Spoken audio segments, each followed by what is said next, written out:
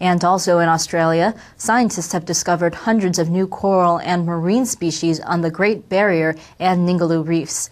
They say the discovery will help scientists understand more about global warming and overfishing.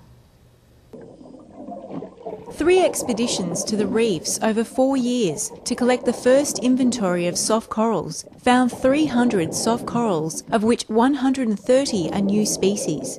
Dozens of new marine species were found, including shrimp like animals with claws longer than their bodies.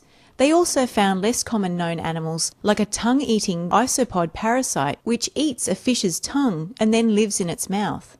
Australian Institute of Marine Science research scientist Julian Caley says researchers never expected to find so many new species. It'll take years just to name them these new species, some are species which um, people were, uh, have never seen before because they're, they're cryptic, they live in, in environments that people don't tend to look at. The marine inventory will allow better understanding of reef biodiversity and climate change.